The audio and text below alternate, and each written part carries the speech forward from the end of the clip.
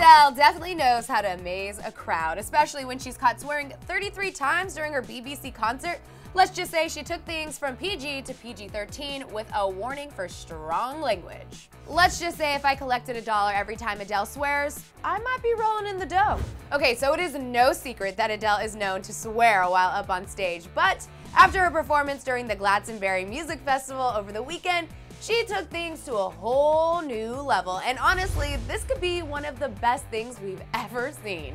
This is the best moment of my whole life! Swearing a whopping 33 times during a 90 minute set, Adele joked that the BBC had to give her a warning about her potty mouth before she went on.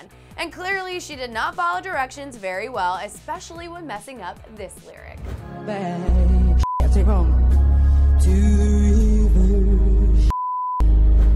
channel gave a warning but did not censor the performance because it aired after the 9 p.m. watershed. Actually, Adele didn't even come on until after 10 p.m. and reached a TV audience of 3.7 million viewers.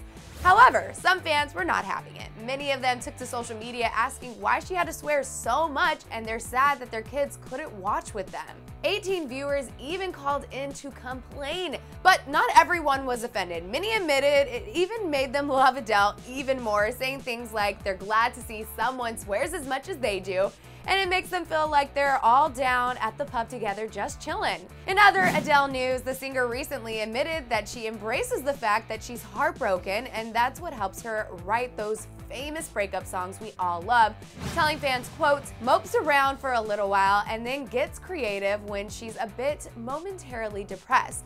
Adele went on to reveal which tracks help her through those tough times. Come to find out, there's everything from artists like Bonnie Raitt to Mumford & Sons all the way to Katy Perry. All right, now it's your turn. I want to know what you guys thought about Adele swearing on live television.